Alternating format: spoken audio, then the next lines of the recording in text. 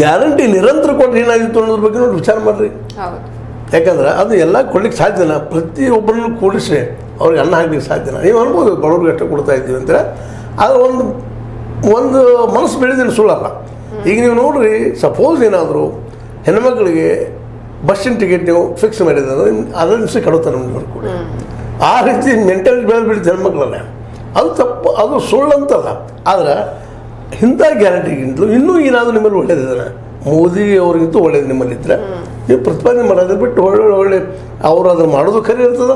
ನೀವು ಅದನ್ನು ಹೇಳೋದು ಖರೀ ಇರ್ತದೆ? ಜನ ಇವತ್ತು ಕೇಳಿಸ್ಕೊಳ್ಳೋದು ಬಂದ್ ಮಾಡಿಬಿಟ್ಟಿದ್ದಾರೆ ಅವನು ಇವಾಗ ಬಡತನವನ್ನು ಹೋಗ್ಲಾಡಿಸೋ ನಿಟ್ಟಿನಲ್ಲಿ ಕಾಂಗ್ರೆಸ್ಸಿಗರು ಏನು ಮಾಡಬೇಕು ಮೋದಿ ಅವರು ಏನ್ ಮಾಡಿಲ್ಲ ಅನ್ನೋದನ್ನು ಅವ್ರು ಅಂತ ಅಂತಿದ್ದಾರೆ ಏನ್ ಮಾಡ್ಬೋದು ಕಾಂಗ್ರೆಸ್ನವರು? ಇವಾಗ ಗ್ಯಾರಂಟಿಗಳನ್ನ ಕೊಡ್ತಾ ಇದ್ದಾರೆ, ಓಕೆ. ಆದರೆ ಗ್ಯಾರಂಟಿಗಳನ್ನ ಕೊಟ್ಟವ್ರು ಎಷ್ಟು ದಿನ ದೇಶವನ್ನ ಮುನ್ನಡೆಸೋದಕ್ಕೆ ಸಾಧ್ಯ ಆಗುತ್ತೆ? ಯಾವ ರೀತಿ ಅವರು ಉತ್ಪಾದನೆಯನ್ನ ತೆಗಿಬಹುದು? ಹಣದ ಹರಿವನ್ನ ಯಾವ ರೀತಿ ಜಾಸ್ತಿ ಮಾಡ್ಬೋದು ಸರ್? ನೋಡ್ರಿ, ಈಗಾಗಲೇ ಹಲವು ಸಲ ನಮ್ಮಲ್ಲಿ ನಾವು ಚರ್ಚೆನೂ ಮಾಡಿದ್ದೀವಿ ಆ ವಿಷಯದಲ್ಲಿ. ನಾವು ಮೊದಲು ನಮ್ಮ ದೇಶದ ನೇಚರ್ ಏನದ? ಅಂದ್ರೆ ಗುಣ ಏನದ? ಸ್ವಭಾವ ಏನದ? ಯಾವ ಕ್ಷೇತ್ರದಲ್ಲಿ ನಾವು ಉದ್ಯೋಗ ಸೃಷ್ಟಿ ಮಾಡ್ಲಿಕ್ಕೆ ಸಾಧ್ಯ ಅನ್ನೋದು ಮೊದಲು ಅಭ್ಯಾಸ ಮಾಡ್ಬೇಕಾಗ್ಯದ. ಮತ್ತು ಎಲ್ಲರಿಗೂ ಗೊತ್ತಿದ್ದ ವಿಷಯನೂ ಅದು? ಹೆಂಗಾಗಿದೆ ಪರಿಸ್ಥಿತಿ ಅಂದ್ರೆ ರೀ ಎಲ್ಲರಿಗೂ ಸತ್ಯ ಗೊತ್ತಿದ್ರು ಅದನ್ನು ಮಾಡ್ಲಿಕ್ಕೆ ತಯಾರಿಲ್ಲ ಎಲ್ಲರೂ ಆಲಸ್ಯಗಳಾಗಿಬಿಟ್ಟಿದ್ರು ನಾವು. ದುಡಿ ಪ್ರವೃತ್ತಿ ಆಮೇಲೆ ಕಡಿಮೆ ಆಗಿದೆ. ಹೋಗ್ಲಿ ಬಿಡಪ್ಪ ಭಾಳ ಹಾರ್ಡ್ ವರ್ಕ್ ಮಾಡ್ತಾರೆ. ಸೈಂಟಿಫಿಕ್ ಟೆಂಪರ್ ಭಾಳ ಇದರಲ್ಲಿ ಸೈನ್ಸ್ ಅವ್ರಿಗೆ ಭಾಳ ಸಾಧನೆ ಮಾಡ್ತಾರೆ ಅಂದ್ರೆ ಅದು ಇಲ್ಲ.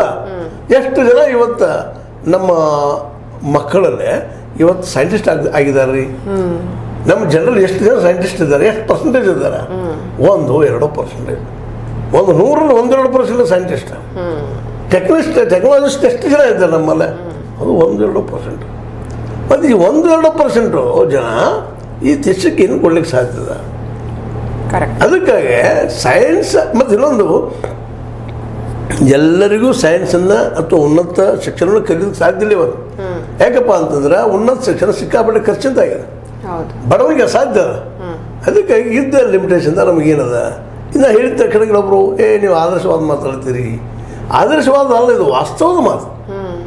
ಇಲ್ಲ, ಇದು ಸಾಧ್ಯ ಇಲ್ಲದ ಮಾತು. ಈಗಾಗಲೇ ಭಾಳ ದೇಶ ಮುಂದುವರೆದು ಬಿಟ್ಟದೆ ಎಲ್ಲಿ ಮುಂದುವರೆದ ಎಲ್ಲಿ ಮುಂದುವರೆದ ಮಾಫಿಯಾ ಮಾಡ್ತದ. ಭೂಮಿಗಳನ್ನ ಕಾಳತನ ಮಾಡಿ ಇನ್ನೊಬ್ರಿಗೆ ಮಾರ್ತದ. ಸುಳ್ಳು ಹೇಳಿ ಜನ ದುಡ್ಡು ಹರ್ಕೊಳ್ತದ. ಯಾವುದಪ್ಪ ಇಲ್ಲಿ ಪ್ರಾಮಾಣಿಕವಾಗಿ ಒಬ್ಬ ಮನುಷ್ಯ ಒಬ್ಬ ವಿಜ್ಞಾನಿ ಗಳಿಸ್ಕೊಂಡು ಬದುಕಕ್ಕೆ ಸಾಧ್ಯತೆ ಒಬ್ಬ ವಿಜ್ಞಾನಿ ಸಹಿತ ಬದುಕಕ್ಕೆ ಸಾಧ್ಯ ಇಲ್ಲ ರೀ ಈ ದೇಶದೊಳಗೆ? ಯಾಕಂದ್ರೆ ಅಲ್ಲಿ ಪೊಲಿಟಿಕ್ಸ್ ಅದ. ಪ್ರತಿಯೊಂದ್ರಲ್ಲಿ ಪೊಲಿಟಿಕ್ಸ್ ಅಂದ್ರೆ ನಮ್ಮ ಶಿಕ್ಷಣ ಹಂಗಾಗಿದ್ದಪ್ಪ ಅಂದ್ರೆ ಶಿಕ್ಷಿತ ಅದಾವ ಹೆಂಗೆ ಜನರನ್ನು ಮೋಸ ಮಾಡಬೇಕು ಅನ್ನೋ ಹಾದಿ ಹುಡುಕ್ತಾನ ವಿನ ನಾವು ಹೆಂಗೆ ಪ್ರಾಮಾಣಿಕವಾಗಿ ಗಳಿಸಿ ಈ ಸಮಾಜಕ್ಕೆ ಏನಾದರೂ ಕೊಡಬೇಕು ಅಂತ ವಿಚಾರ ಮಾಡೋದು. ಇದು ದೊಡ್ಡ ದೋಷ ಅದ.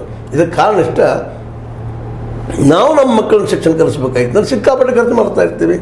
ಇವತ್ತು ಎಂ ಬಿ ಬಿ ಎಸ್ ಮಾಡ್ಬೇಕಾದ್ರೆ ಎಷ್ಟು ಖರ್ಚು ಬರ್ತದೆ ನೀವು ಹೇಳ್ರಿ? ಒಬ್ಬ ಮಗು ಈಗ ನೀವಾಗ ಕಲಿತಾ ಇದ್ರೆ ಲಕ್ಷ ಅಲ್ಲ ಈ ಕೋಟಿ ಗಟ್ಟಲೆ ಹೋಗ್ತದೆ. ಪ್ರೈವೇಟ್ದಲ್ಲಿ ಕೋಟಿ ಗಟ್ಟಲೆ ಅಂತ. ಪ್ರೈವೇಟ್ ಅಲ್ಲಿ ಕೋಟಿಗಟ್ಟಲೆ ಆರಾಮ್ಸೆ ಹೋಗುತ್ತೆ. ಮತ್ತು ಅಂದಾಗ ಕೋಟಿ ಕೊಟ್ಟು ಕಲಿಸೋರು ಎಷ್ಟು ಜನ ಇದ್ದಾರೆ? ಅಂದಾಗ ಅವ್ರು ಕಲಿಸಿದವರು, ಅವರು ಅಷ್ಟು ಖರ್ಚು ಮಾಡಿರ್ತಾರೆ, ದುಡ್ಡು ತೆಗಿತಾನಂತಾರೆ ಅವರು ಒಂದು ಆಪರೇಷನ್ ಮಾಡಿ ಇಷ್ಟಪ್ಪ ಅಂತ ಹೇಳ್ತಾರೆ, ಐದು ಲಕ್ಷ, ಹತ್ತು ಲಕ್ಷ, ಇಪ್ಪತ್ತು ಲಕ್ಷ ಹೇಳ್ಬಿಡ್ತಾರೆ ಅವರು. ಆದ್ರೆ ಅವ್ರು ಬಡವ್ರಿಗೆ ಸಾಧ್ಯದ ಅದು. ಎಷ್ಟು ಜನ ಇಂಥ ಡಾಕ್ಟ್ರಿಗೆ ಕಲಿಲಿಕ್ಕೆ ಸಾಧ್ಯದ ಕಲಿತ ಮೇಲೆ ಪ್ರಾಕ್ಟೀಸ್ ಮಾಡೋಕ್ಕೆ ಎಷ್ಟು ಸಾಧ್ಯದ ಈಗ M B B S M ಡಿನೂ ಮಾಡಿದ್ರಿ ನೀವು. ಈ ಗೌರ್ಮೆಂಟ್ ಸರ್ವಿಸ್ ಮಾಡಿದ್ರೆ ಪಗಾರ ಅಷ್ಟು ಬರೋದಿಲ್ಲ. ಭಾಳ ಒಂದು ಲಕ್ಷ ಕೊಡ್ತಾರೆ ಒಂದೂವರೆ ಲಕ್ಷ ಕೊಡ್ತಾರೆ ನೀವು ಎಷ್ಟು ಖರ್ಚು ಮಾಡಿರ್ತೀರಿ ನೀವು ಪ್ರೈವೇಟ್ ಮಾಡ್ಬೇಕಂತೀರಿ. ಪ್ರೈವೇಟ್ ಮಾಡೋಕ್ಕೆ ಹೋದ್ರೆ ಇವತ್ತು ಹಾಸ್ಪಿಟಲ್ ಕಟ್ಕೋದ್ರೆ ಎಷ್ಟು ಖರ್ಚು ಬರ್ತದೆ? ಹಾಸ್ಪಿಟಲ್ ಕಷ್ಟಿರೋದು ಮುಗಿಯೋದಿಲ್ಲ. ಅಲ್ಲಿ ಮತ್ತೆ ನಿಮ್ಮ ಜೊತೆಗೆ ನರ್ಸ್ಗಳು ಮಾಡ್ಕೋಬೇಕು ಸಿಬ್ಬಂದಿ ಮಾಡ್ಕೋಬೇಕು ಹೊಸ ಹೊಸ ಡಾಕ್ಟರ್ ಇಟ್ಕೋಬೇಕು. ನೂರ ಎಂಟು ಗದ್ದಿದೆ ಇದ್ದೆ. ಆದ್ರೂ ಮಾಡ್ಲಿಕ್ಕೆ ಎಷ್ಟು ಮಂದಿಗೆ ಸಾಧ್ಯ ಇವೆಲ್ಲ ಖರ್ಚಿನ ವಿಷಯಗಳ ಬಗ್ಗೆ ನಾವು ಚರ್ಚೆ ಮಾಡಿಕೊಂಡು ಹೌದಪ್ಪ ಇದು ನಮ್ಮ ದೇಶಕ್ಕೆ ಸೂ ಸೂಟ್ ಆಗುವಂಥ ಉದ್ಯೋಗ ಏನಿದು ಅಂತ. ಯಾಕಂದ್ರೆ ನಾವು ನೂರ ನಲ್ವತ್ತು ಕೋಟಿ ಜನಸಂಖ್ಯೆ ಇದ್ದೀವಿ ರೀ. ಒಂದಲ್ಲ ಎರಡಲ್ಲ. ಇವತ್ತು ಯುರೋಪಿಯನ್ ಕಂಟ್ರಿ ಒಳಗೆ ಐದು ಕೋಟಿ ನಾಲ್ಕು ಕೋಟಿ ಮೂರು ಕೋಟಿ ಆರು ಕೋಟಿ ಏಳು ಕೋಟಿ ಜನಸಂಖ್ಯೆ ಇದ್ದವ್ರು ಅದಾರ ಇವತ್ತು ಜರ್ಮನಿಲಿ ಐದು ಕೋಟಿ ಜನಸಂಖ್ಯೆ ಇದ್ದವ್ರು ಅದಾರ ಅಮೆರಿಕದಲ್ಲೇ ಈ ಏನಪ್ಪ ಅಂತಂದ್ರೆ ಒಂದು ಹತ್ತು ಹದಿನೈದು ಕೋಟಿ, ಒಂದು ಇಪ್ಪತ್ತು ಕೋಟಿ ಜನಸಂಖ್ಯೆ ಇದ್ದಾರೆ. ನಮ್ಮ ನೂರ ನಲ್ವತ್ತು ಕೋಟಿ ರೀ. ಇವರಿಗೆಲ್ಲ ಕಲಿಸೋಕ್ಕೂ ಸಾಧ್ಯ ಇಲ್ಲ. ಸ್ವಚ್ಛ ನಾವು ನೀರು ಕೂಡ ಸಾಧ್ಯ ಆಗಿಲ್ಲ ಇಲ್ಲಿವರೆಗೆ. ಯಾಕಂದ್ರೆ ನಾವು ಭ್ರಷ್ಟರು ಇದ್ವಿ. ನಮ್ಮ ಆಡಳಿತ ಜನ ಭ್ರಷ್ಟರು ಇರುವುದರಿಂದಾಗಿ ಬಂದ ಲಾಭವನ್ನು ಅದು ಬಂದಿದ್ದ ಗಳಿಕೆಯನ್ನು ಅದು ಸಂಪತ್ತನ್ನು ಉಳಿಸಬೇಕು ಅನ್ನೋದು ಹೆಂಗೆ ಗೊತ್ತಿಲ್ಲ. ಮತ್ತು ನಾವು ಎಂಥವ್ರನ್ನ ಆಯ್ಕೆ ಮಾಡ್ತೀವಪ್ಪ ಅಂದ್ರೆ ದುಡ್ಡು ಕೊಟ್ಟವ್ರನ್ನ ಆಯ್ಕೆ ಮಾಡ್ತೇವೆ.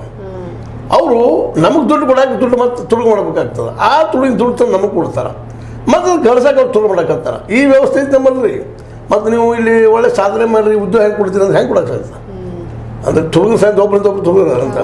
ಒಂದು ಸಣ್ಣ ಕಪ್ಪಿನ ಹಿಡಿಯಾಕ ಮತ್ತೊಂದು ಹಾವು ಅದ. ಹಾವು ಹಿಡಿಯಕ್ಕೆ ಅಲ್ಲೇ ಮತ್ತೊಂದು ಗರಡದ ಅದ ಹದ್ದು ಅದ.